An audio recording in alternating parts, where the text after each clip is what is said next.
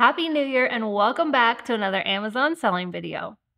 This year in 2024, I want to take direct response and feedback from you and create the videos that you want to see. So if this is your first time here and you enjoy this video, go ahead and hit subscribe and look at all the past videos I've done. But if you have something that you want to see from me in 2024, please do let me know because I will be taking that feedback and making sure I'm making the videos that mean the most to you. If you've already been watching these videos and you're not yet subscribed, please also hit that subscribe button because again, it means a lot to me and it costs you nothing. And I'm just trying to hit that 100,000 mark for nothing else than to say that I've done it. But yeah, thanks. So I will still be doing my sourcing videos all year round, but I do want to add in the videos that you enjoy. So I'm also going to be doing live uh, YouTube lives every month. So the January one is January 22nd. So mark your calendar. Pretty sure that's next week to answer your questions live and talk about what's coming up this year. Also have an exciting announcement that my Bolo group now has monthly hangout calls every month. So this week actually. So the 17th, we'll be having our January hangout call. So if you want to join that group, it's really awesome group of sellers. They are helpful. You get bolos, which is be on the lookout, right? Things that we're sourcing right now in January, then in February, March, all year long. We're sharing leads that we find that make a profit and it gives you this whole long list of leads to go off of. But more than that, it gives you a community, and that is so important to growing your Amazon business. So you can join the community today, hang out with me live, ask questions, introduce yourself, whatever you want to do. January 17th is our call. So if you're in the Bolo group already, mark your calendars. There's an event in the Facebook group where you can um, hit that you're going or RSVP or whatever that is. But yeah, that's in the group right now. So definitely hang out there. You can join the Bolo group today at yoursellingguide.com slash Bolo. And I would love to see you there and connect with you there. Okay, this is my annual no fun video because it's all about income tax and who wants to do income tax, right? But we have to do it. So it comes around every year. This is the new 2024 edition with all the new laws and rules and blah, blah, blah. I'm also going to talk about hiring an accountant, hiring a bookkeeper, and I'm going to dive into every single report that you need to pull either for yourself or for your tax professional. Now, I am not covering sales tax in this video because that is a completely different thing. And I have other videos that talk about sales tax, but those are not like an annual thing that we do um, like income tax. So this is just income tax. Also, I am not a tax professional. I hire them, but I am not one. So please run all of this by your CPA or tax professional, bookkeeper, whoever you use to do your taxes, or even if you're just going to ask them, make a phone call to confirm that everything you're doing is right if you are the one doing your own taxes. So, not a tax expert. I've used TurboTax all of my life, all my tax paying life up until four years ago when I hired a bookkeeper, CPA, or EA, or whatever it was. But, anyways, I hired a tax professional to do my taxes for me starting in 2020, and it was a huge relief.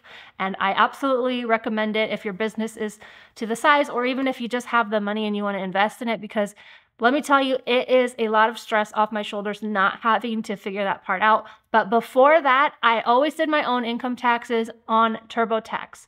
Now, if you're a sole proprietor or single member LLC, it's actually really easy to do your own taxes, even if you're brand new to Amazon selling, because you just basically putting in that you have a self employed um, business and then you add all the expenses that come along with it. I loved TurboTax, and I know not everyone likes TurboTax, but to me, I liked it just because it was super easy. It had like the different things. It asked me, I said, I have this business. Okay, do you have these expenses? And then it would literally walk me through kind of like a worksheet and I'm all about that easy stuff. So I also paid the first year that I did TurboTax, I paid extra to have a professional look at my return before I filed, just to be sure everything was good.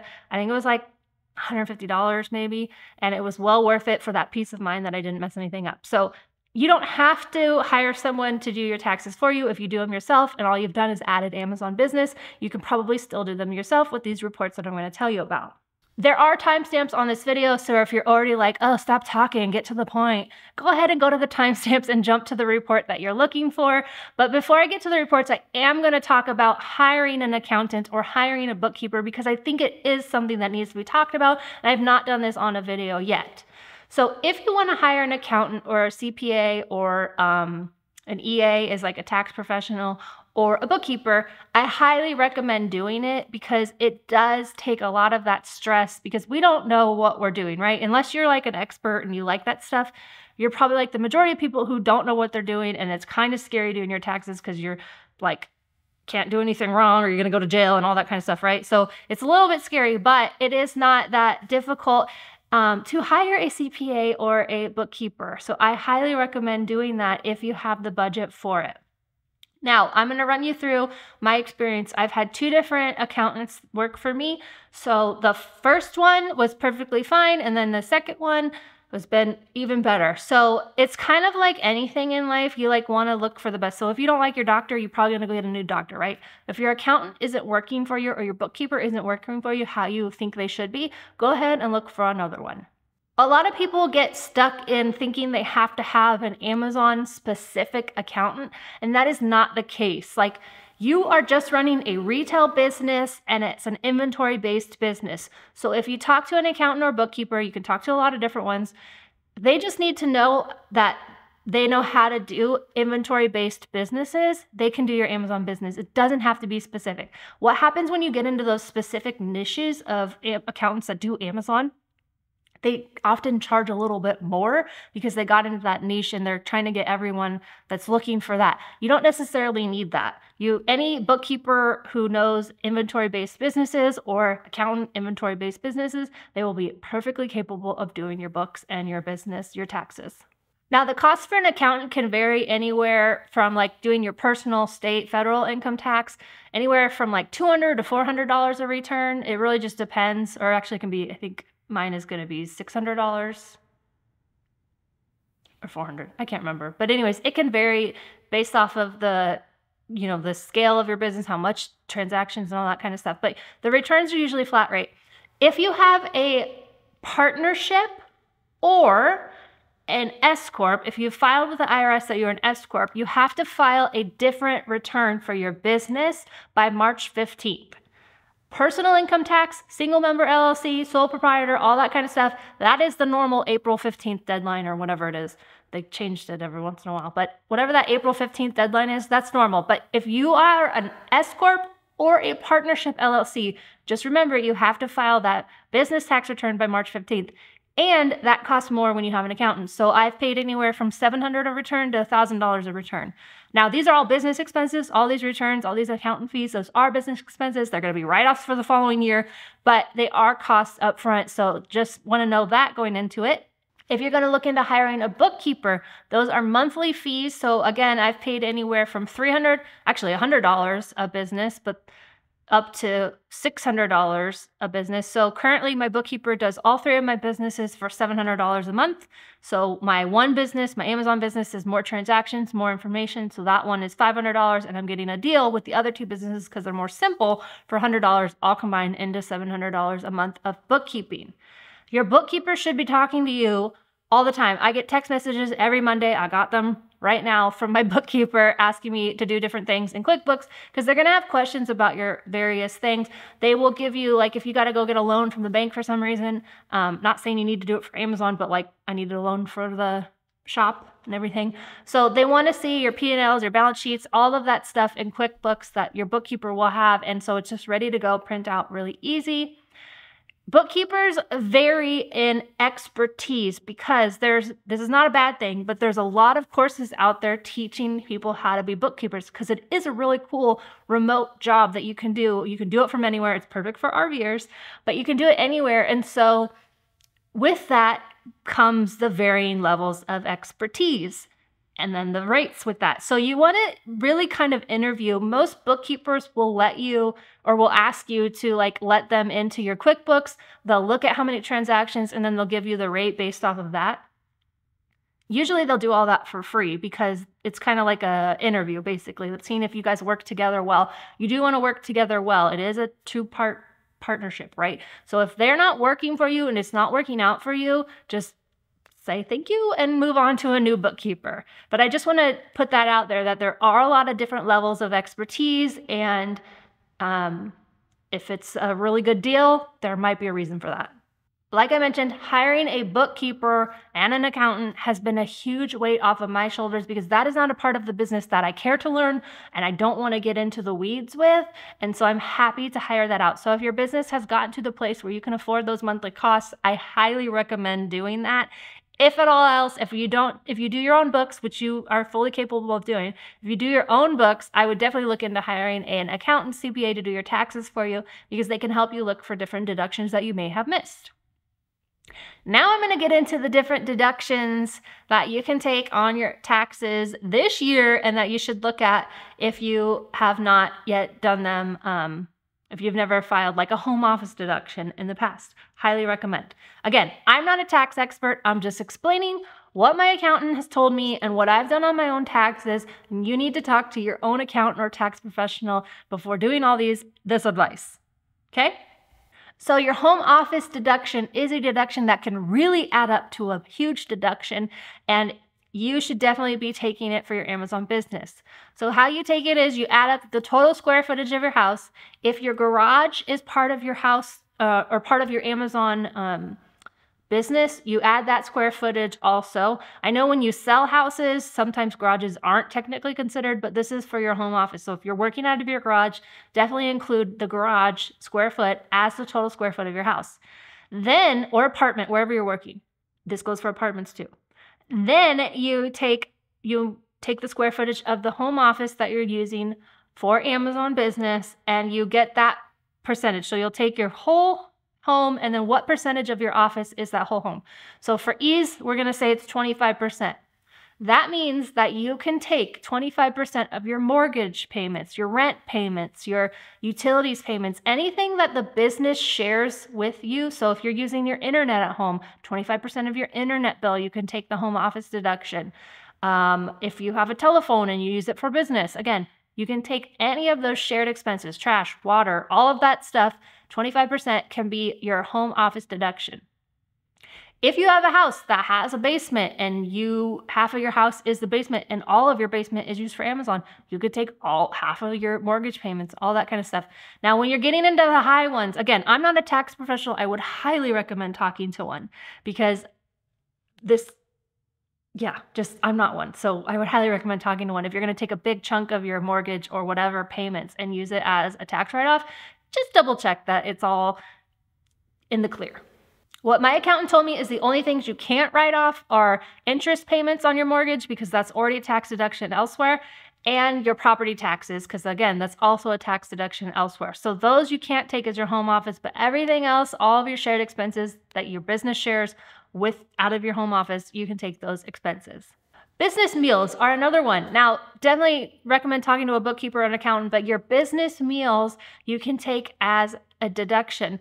They need to be, you have to be gone out of your like house for 24 hours. So if you go on an overnight sourcing trip, all the meals you incur, the hotel fees, if you have to pay for parking at the hotel, all that is business expenses that you can deduct on your income taxes. If, however, you have 1099 contractors or people who work for you and you decide to get them all pizza or you decide to take them out to dinner or lunch or whatever, that is a business expense because you're only going out because of business, right? So there's different things. Again, really good reason to, even if you just sit down with an accountant and like see if you want them to do your taxes or whatever, it's about $200 in my experience. It's been $200 to sit down with an accountant. I sat down with the three hours. We talked about all different things and $200 well worth the business investment. Hiring people, so 1099 contractors, um, those are all, again, business write offs. So if you pay someone to help you in your business, then you should be keeping track. Now, you my accountant said you can literally just go and get like at Office Depot or Staples a blank 1099 form and fill it out at the end of the year or whenever they're done working for you.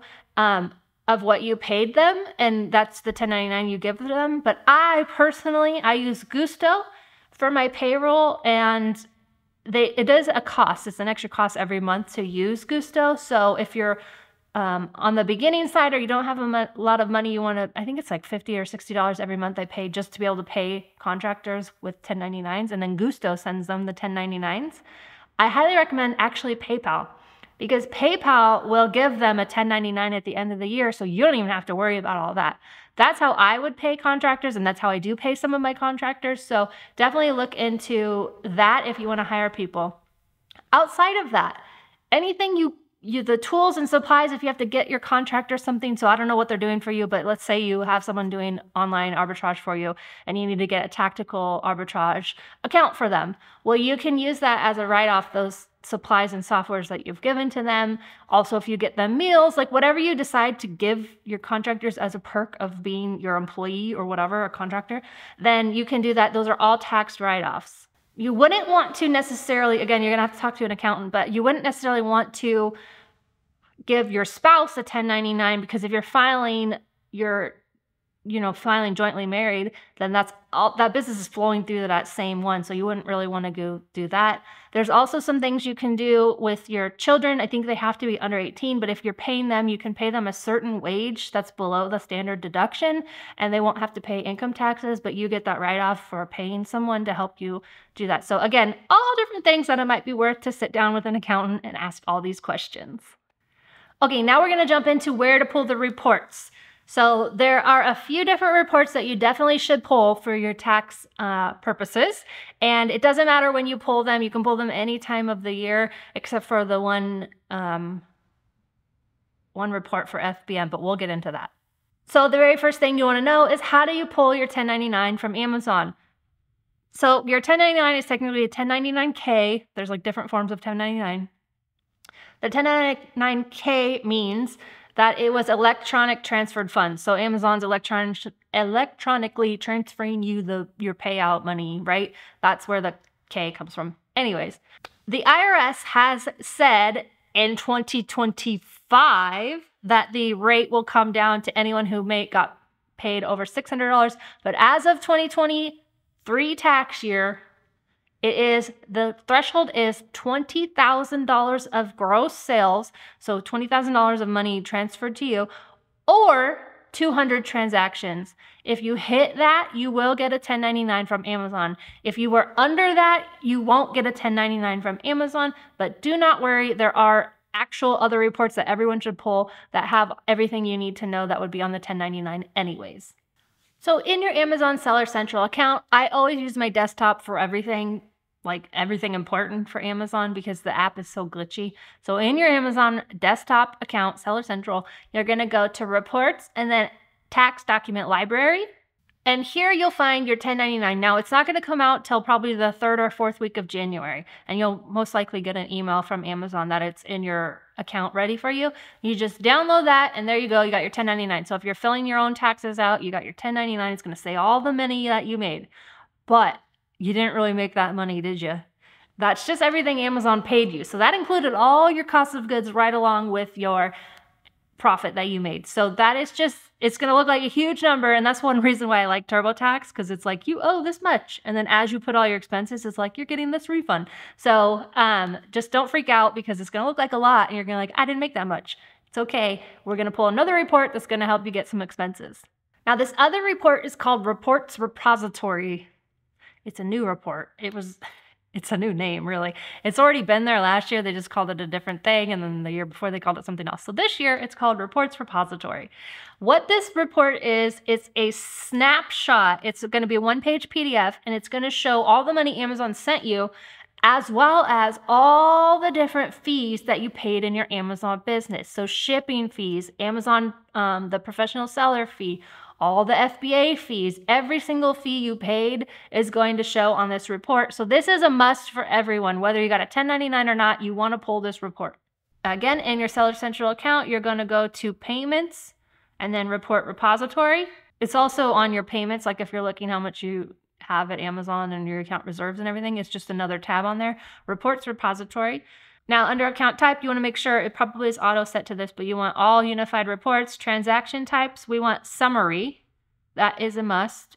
And then you want custom range, we're going to do the whole year. So January 1st to December 31st. And then request your report. It takes a little bit. You can hit refresh or just refresh your screen and then you'll come back and it'll say download. Now, here is what the report looks like. Again, it's just a PDF one page snapshot of everything your business does. So it's got your income, it's all the money that you made that Amazon sent to you. So you can see your sales, non FBA, um, refunds, product sales, shipping credits, all the different things. You can see the transfer amount. So that's the amount that Amazon would have sent to you. Then you can see all your different expenses. These are the expenses that you want to take your tax write-offs for, right? So you want to do all of your selling fees. You can see them all. All the different things are broken out here. They're just kind of called different things. But even your um, professional selling fee is in one of these fees. Everything is there. And then it also does tax, but that's talking about sales tax. And since Amazon covers that for us, the marketplace facilitator tax, so that's just, it's the same number in and out. It's just, I never saw it didn't have to worry about it. Now, a lot of people want that income on this this uh, PDF we just pulled, the reports repository, to match their 1099, and it may or may not because the 1099, I got to tell you, like two years ago, 2021 maybe, Amazon actually gave me two, and in both of them, I was missing three months, but I definitely was selling those three months. So and I even emailed, like, can you fix it? And they were like, no. So the 1099 is what they sent to the IRS. As long as you are filing your taxes and you're doing everything right, it's not a problem that it doesn't actually match up to what it is. So don't freak out if these numbers don't exactly match on these two reports. You just want to make sure you're filing your taxes, getting all of your expenses and everything taken care of, and making those write offs. Another report you want to pull is your cost of goods or your inventory valuation report. So this report is called Inventory Ledger in Amazon now this year. They've changed the name. That's what it's called this year. So anyways, they you want to make sure you have this report because it's telling you how much cost of goods you have on hand at the end of the year and then again for the following year's taxes how much you started the year with. Now, why this matters. It may not matter to your business depending how you're doing your inventory. So there's something called cash inventory or accrual inventory. This is not the overall way you file your business. Like you, there is a whole business level, like we're doing cash level or or accrual level. This is only talking inventory cost of goods. So the way it was explained to me, the cash way is I go to Target today and I buy something from my inventory. I'm writing that off whether or not it's sold. The cost of goods, which is cost of goods sold, COGS, I'm leaving out the S. So COGS is the accrual way. The accrual way is you only expense what has sold. So sold, that's a really key part of it. Cost of goods sold. So if the stuff is sold, you're taking the expense. Now, I'm a fan of the simple cash way. I've paid the money to Target, whatever, for that stuff. I'm going to take the expense right now. My accountant, however, is wanting me to do the accrual way. So I'm pulling these reports, but then when I go meet with him in March, I'm going to say, hey, can we do it this way instead? And see what he says. Whether or not you know which way you're doing it, I would just pull this report just so you have it. Now, there is a easier way to pull these reports than Amazon because I don't know if you know this, but Amazon's reports are the worst. They're, it's the worst. But if you use Inventory Lab or Seller Board, you can pull the reports in those two and they will be already filled out with your cost of goods. But I'm going to show you how to do it in Amazon just in case you don't have those programs. However, I think you might want them after you I show you how much easier the other two are. In your account, again, we're going to go to Reports and then Fulfillment. And here it's the second one currently, but who knows, Amazon could change how they do it. It's called Inventory Ledger. I do the download way because I want the download because you're gonna if you're doing it on Amazon, you're gonna need to work the file. So you need that um, file in either Google Sheets or Excel or Numbers or whatever you use, but you're gonna need the file. So we want to do the summary view. I do by country. I'm gonna do the leave it on daily, and then we want custom date. So exact dates, and then I want to know what I had on hand on the last day of the year. Because for the accrual way, cost of goods sold, I need to know what inventory I have that has not sold. So what when you do your taxes, even in TurboTax, it's going to say how much inventory did you have in the first of the year and then how much did you end the year with and that's how you figure out your cost of goods. Okay. Then I'm going to hit request download. It's going to download. Now, while I wait for this to download, this is only going to show my FBA stock that I have in stock with FBM, it's really tricky. I can't even pull the report, and I'm pulling this report on the 8th. I can't even go back and pull it because the way you can pull it in Seller Central, you go to reports and then you go to inventory reports and you can see your open listings report. So this is going to be all the listings that you have. But as you can see, it's pulling my reports every day. It's going to pull all these reports. So I can't even go back. The furthest back I can see is the 5th. So what is that like? Four days of data. So for FBM, you're going to have to possibly manually look at what you have listed or what you had on stock on shelf. It's going to be a little more tricky. Unless you use Seller Board or Inventory Lab, then it's super easy. I don't know how to pull. This is the only the open listings is the only one that I found. If anyone watching this video knows how to pull in Amazon specifically, not the other two, because we know how to do it in the Inventory Lab and the Seller Central, but if you know how to do it in Amazon for FBM, please comment and let us know because I, like I said, this is the only one I could find, so I'm not sure. Going back to my report, my fulfillment report. So here's what the report looks like. It's kind of messy, but what I do is I want to know how much was ending the warehouse. So you see this this column right here. All I'll do is let's just drag this over. Now the way I make my SKUs, you can see this one I got at Grocery Outlet for $1.99. So then I can do $1.99 and go down and put in what I paid for everything and then make another column total, which would be the cost I did times how many I had and then it's going to give me the total. And so I would go through and I would do all of this for um, everything that I have, and then it's going to tell me um, my total cost of goods that I had on hand on the 31st of December, so the end of the year. Again, super complicated, but if you use Inventory Lab, let's jump over and see how easy that one is. Elisa Jackson in the Q4 Bolo group shared with us how you can get this report. So it's pretty easy, you'll see, but I just want to give a shout out to my community members. So YSG community member Alicia Jackson, thank you again. You just go to reports and inventory valuation. Simple as that. You want to put the day. So again, we're going to do a view, then export. This is going to tell me everything that I have in stock, both FBA and FBM, and the costs are already entered. Because I don't use Inventory Lab for FBM, I will have to enter those cost of goods into the sheet, but it's already ready. If you already do it in Inventory Lab, already ready. Called Inventory Evaluation, it's already there for you under reports, so that's super easy to run. I do have a 30-day free trial of Inventory Lab. The link is yoursellingguide.com slash IL. And then I have a two-month free trial for Sellerboard. Again, yoursellingguide.com slash sellerboard. If you want to try either one of these out, I highly recommend them. I use them both. Um, they do two different things, but yeah, so I love it. And again, this is one of the reasons why it makes it super easy to just run these reports. Amazon makes things so difficult for no reason. So these other tools and softwares are making our lives easier. Okay, so in Seller Board, you're going to go to reports and then you want your stock history report here at the bottom. Again, we're going to click the 31st of December and download. And you can see here, it's already got all of my cost of goods entered for me. So all I got to do is total it up. Again, those two reports are super easy to pull outside of Amazon, but if you're only using Amazon, then you will have to do the little bit of work to get that file to work for you. Shout out to YSG community member Liz Jackson for letting us know how to pull that report super easy in Seller Board. Okay, so I've already talked about different expenses. You do want to make sure you're tracking all your business expenses. You got to have everything separate. So your personal and your business need to be separate.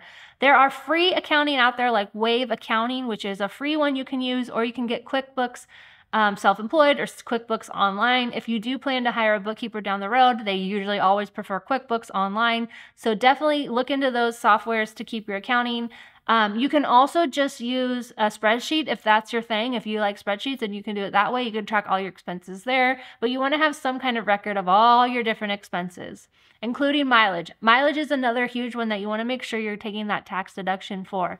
So Mile IQ is what I use. I absolutely love it. It is a no-brainer. It just is always running. So Anytime I'm driving, it's like, hey, we caught your drive. Now I classify it. Is this business? Is this personal? Swipe left or right. It's like a dating app.